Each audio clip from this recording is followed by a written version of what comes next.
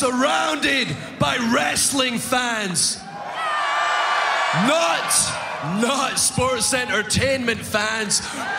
Professional wrestling fans! Professional wrestling! This is it! This is us standing up! This is The Wrestling Matters Podcast, a podcast that stands up for professional wrestling. Why? Because wrestling matters. So join the revolution, because the revolution is now. Hey, start the show. world! Look into my eyes!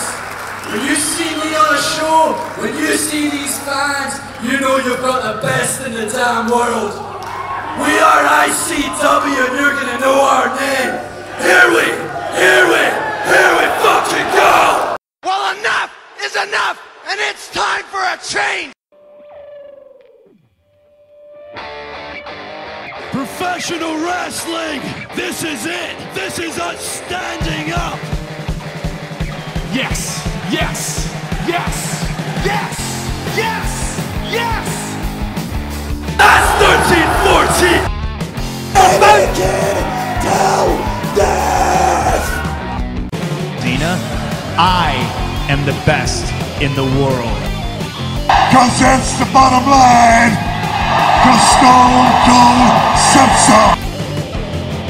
What's going on, ladies and gentlemen? Welcome to another installment of the ICW podcast. That's right. ICW podcast. Today, thank you so much for tuning in to watch. Hope you've enjoyed the previous episodes and hope you've enjoyed what is, or hope you're going to enjoy what's about to come. Now, I've told you yesterday on the podcast, the Wrestling Matters podcast, that uh, there was the schedule for the ICW podcast from now leading through to August. It is now July 6th. It's going to lead round to at least the beginning of August, August 11th time. Um, for those of you that don't know, the schedule is this. Today you're going to get Fringe Night 1, uh, Get Mendoza. You're going to get that today, review. You're going to get number 2 next week on the 14th. On the 21st, you're going to get Shug's Hoose Party 1 review. You're going to get the week after that, on the 28th, you're going to get number 3. Week after that, you're going to get number 4. And then the week after that, on August 11th, you're going to get Dave's Not Here Man from uh, August of 2013, which had Grado versus uh, Colt Cabana 1. Speaking of Grado versus Colt Cabana, you're going to get number 2 today. Uh, more on that later on. But uh, this is Fringe Night 1, Get Mendoza, August 3rd, 2014. And uh, it kicked off with a heavyweight championship number 1 contenders match. That's right. Kid Fite, Noam Dar, Darkside, and Joe Coffey. Now, Joe and Darkside go toe to toe, which ends up outside. They still fight with Joe getting the advantage. Dar and Kid Fite, lock up in the ring. Darkside takes advantage of Joe. Joe fights back. That's, that was on the outside. Chain wrestling in the ring between Dar and Kid Fite. Dropkick gets Dar the advantage. Kid Fite looks for the teabag move that he does or used to do now. Now he's in the 55. But both men lock each other in a testicular claw. You can imagine how that felt. Coffey and Darkside jump down, fight, then go at it. Sweet arm drag by Darkside on Darkside by Kid. Uh, Darkside hits a heel kick, then Joe hits the discus clothesline. Kid Fite gets eliminated, and Dar has the advantage on uh, Coffey and Darkside. Two drop kicks for each Darkside and Coffey. Then, well, one each. Then a brainbuster on Coffey gets him a near fall. That's Noam Dar, that is. Then locks a leg lock uh, on Coffey and an ankle lock on Darkside. Darkside hits GTS, but when a kick, but with a kick and Dar is out. Joe down to Coffey and Darkside. Darkside hits a German suplex on Coffey and gets a near fall. Snapmare knee drop gets Darkside a near fall. Coffey hits three splashes, then a chop, then gets a swing on Darkside, then locks in the No Mercy Boston Crab. Renfrew distracts Coffey, Darkside hits a low blow, then chokes out Coffey, and Darkside wins. Renfrew rubs it in the face of Coffey and pisses Joe off, quite frankly. Chris then gives it, gets in the ring, gives the history lesson on creating Revolution called ICW and drops a pipe bomb which actually won him uh, Mike talking in the awards of 2014 this actually this promo that he did you might want to go and check it out. Get Mendoza check it out. This promo that he did actually won him an award um, at the end of the the end of the year awards. Uh, like I said drops a pipe bomb on the whole company company and challenges anyone to step up. Wolfgang music hits but Renfrew was pulling one over on the fans still waiting on the challenge challenge. Then Stevie Boy comes out with Kay Lee Ray. Renfrew says they have other problems, and out comes Carmel and Liam Thompson. Carmel has a go at uh, Kay Lee Ray. Wow, did I just go not Geordie there? Has a go. Sorry to all any Newcastle people watching there or listening. And just shoots like if she is the female CM Punk, and says she owns it and gets cut off twice and challenges Bucky's to a match, and Kay Lee Ray and Stevie Boy just dive on them. Fight is a brawl to start. Stevie Boy and Liam, Kay Lee Ray, and Carmel fight in the crowd and at the bar area. Kaylee dives on Carmel off the bar. Carmel suplexes Kaylee three times, gets near fall. Stevie Boy kicks Liam in the chest on the outside. Carmel dives on Liam and Stevie Boy after being pushed by Kay Lee Ray, and then Kay Lee Ray dives on all three. Kay Lee Ray with the advantage hits a springboard heel kick and gets a near fall. Hurricane Rana off Inseguri send Carmel outside. Liam grabs Kay Lee Ray, then gets slapped and Stevie Boy unloads on him. Liam in control of his team, for his team rather. Double team on Stevie Boy. Power slam leg drop gets Liam a near fall. Stevie Boy in trouble. Stevie Boy fights back to no avail. Nice back suplex leg drop move gets Liam a near fall. Liam gets a near fall, slows down Stevie Boy. Stevie Boy creates space to tag in Kay Lee Ray and she hits a double drop kick off the top rope. Fight back on also Carmel and Liam have a miscue. Drop kick, super stop Liam from hitting power driver on Kay Lee Ray. Carmel hits a DDT and gets a near fall. Kaylee hits the gory bomb, misses a swanton. Kaylee takes the backcracker. Liam hits the backcracker on Stevie Boy, gets a near fall. Miscue with Liam and Carmel. Kaylee hits a gory cutter, which is a gory bomb. She gets uh, Liam in the gory bomb. She does the gory bomb move, and then Stevie Boy just comes running in and does the cutter, uh, which is a diamond cutter or Rocky or whatever you want to call it, and they get the victory on Liam and Carmel. DCT, however, comes out after the match, just as he's about to get ready for another match or whatever. DCT comes out and says he should be the face of ICW. Yeah, this didn't go well with Jack Jester because his music hits and he comes out and gives him a match for the ICW title. Title, and this was just one-sided, ladies and gentlemen, because let's just say this: DCT got his ass kicked. Jack kicks DCT between the legs and then kicks him in the face and unloads on DCT. Jack destroying DCT. Jack whips DCT with his belt, not the world title belt, uh, the ICW title belt, his own belt that he wore to keep his trousers up. Jack wasn't in his ring gear in this match, by the way. Jack camel clutches DCT, but chokes him with the belt. Normally, you would have your hands in front of the jaw area, but he decided to use his belt. Jack ends it with a tombstone and wins the match, and then just walks out, walks away from the uh, from the company. Well, well, walks away from the company, just walks out the show and takes his belt and goes home. And I'll end that part there, ladies and gentlemen. I'll have a quick break, and then I'll be back right after this with part two. So stay tuned.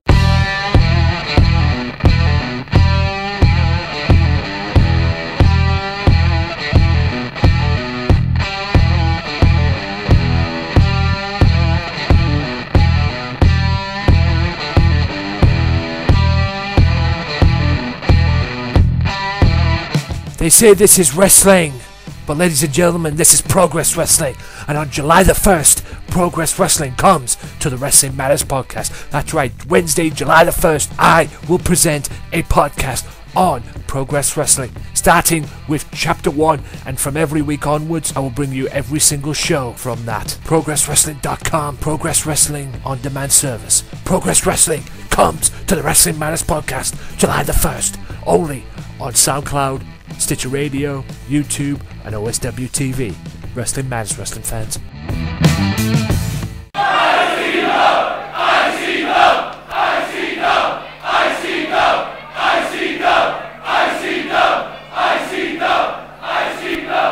Sure to tune in every single Tuesday now for the Wrestling Matters Podcast Extra, where I'll be hosting a podcast on one promotion and one promotion only ICW Insane Championship Wrestling, the hottest promotion in Scotland. Well, I'll be reviewing their shows. Oh my oh god! Talking ICW, That's 13 14! and who knows, maybe getting some guests on.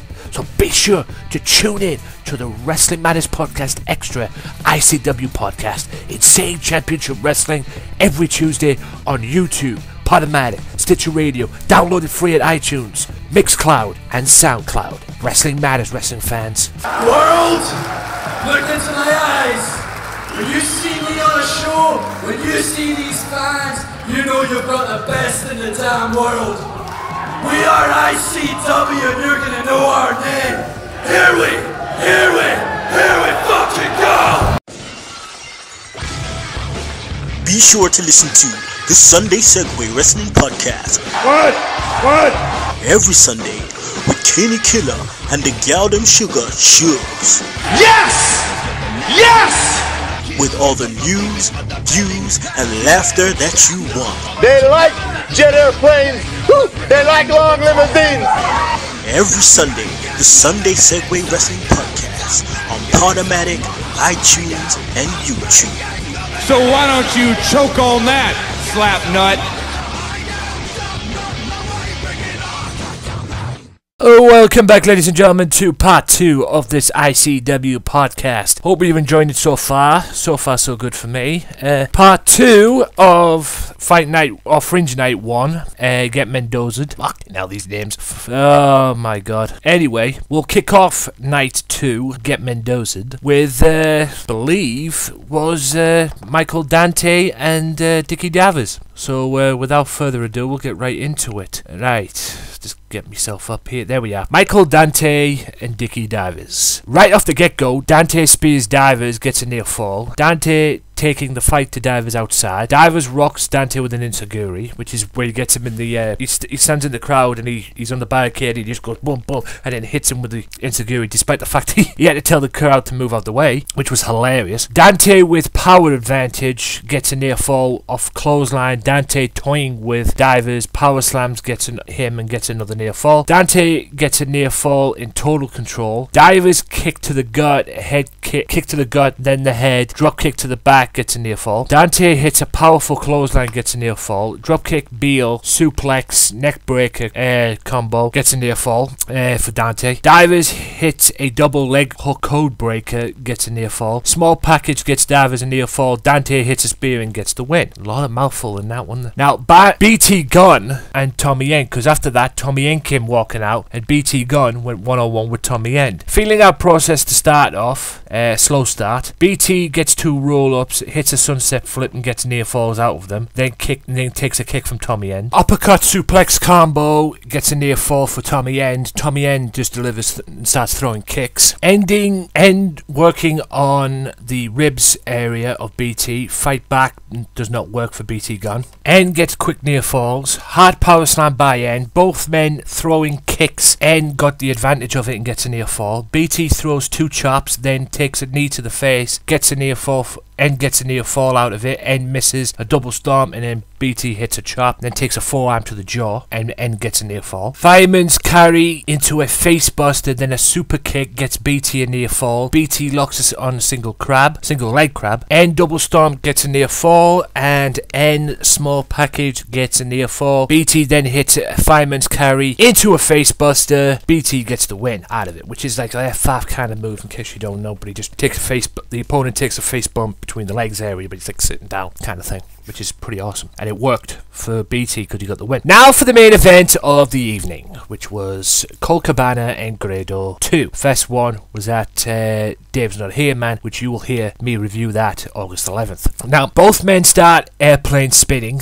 Grado, Colt, Cabana turn it into Rock versus Hogan. Handshake, tug of war, advantage Colt. They were just pulling each other and they shook hands and started pulling each other in and out, in and out, kind of thing. It was hilarious. Crowd chant, say you're sorry, and then Colt says he's sorry and then kisses kisses the ref. Grado does a DX chop, tells Colt to suck it, like you know, the DX members. Crowd members in the front row, girls, chant suck his dick. Colt, Grado were like, what the fuck? Tie up turns into hair pulling. Grado gets the worst, ch- hits the worst chop ever. Colt shows how it's done and then struts, and he did it again and again and again. Grado goes for a third attempt at it, but ends up poking Colt in the eye. Grado goes Ric Flair on Colt, slams slams him, goes Ric Flair. Colt slams him. Colt locks in the figure for four. Grado gets rope break. Colt declares a dance off, and what? And both men walk out. Grado comes back dressed as Colt Cabana, and actually does a good impression of him. Colt comes out dressed as Grado, music and all, and does a great impression of him. Grado at times is like, "What the fuck?" Grado wins the dance off. Colt seems angry. Chain wrestling. Grado does does it in a way. Grado in a weird position. Colt roll up, gets a near fall. Colt stops Grado from doing from going through his legs. Grado lays him out with a right hand and gets a near fall out of it. Grado sets up for the rolling slice but misses. Colt goes dusty on Grado and gets a near fall. Grado hits the rock bottom and gets a near fall. Grado splashes Colt, then goes up for the Undertaker old school move, but then Colt grabs him and then hits the GTS on him, or away to your bed as he calls it, and Colt beats Grado, Grado and gets even because, well, you'll find out August 11th. Or if you've seen it already, you already know Grado won the first match. Colt celebrates in the ring, and then the NAK come down and jump Colt, Cabana, and Grado. Grado and Colt challenge NAK for the tag titles. NAK deny that offer, but Mark Dallas comes out and makes the match for next week's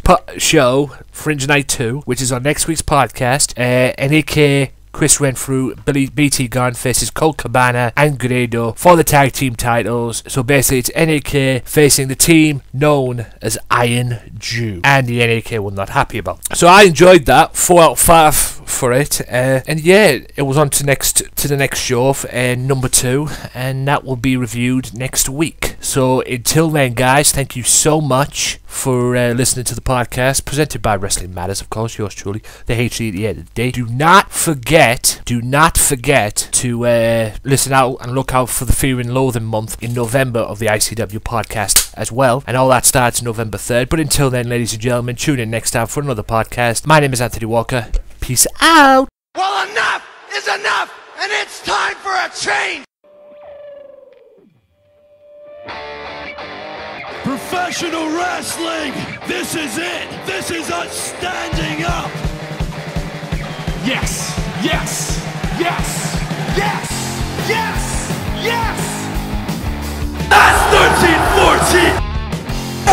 Dina, I am the best in the world. Cause that's the bottom line. Cause Stone Cold Simpson.